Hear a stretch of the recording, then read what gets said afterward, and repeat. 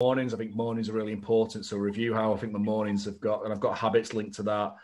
Uh, movement, nutrition, parenting, productivity, and I just kind of do a page writing my thoughts about how it went.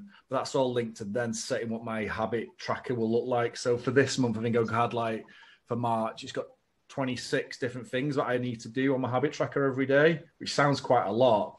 But actually, some of that is, you know, morning meditation, five minutes, um, apple cider vinegar with my thingy, reading, reading a page of the Daily Stoic. So there's little things that whatever. And I kind of looked through it last night. Re- reviewed February's, and there was quite a few reds on it. But actually, when I totted it all up, um, you know, I hit 91% of awesome. my habits for the month.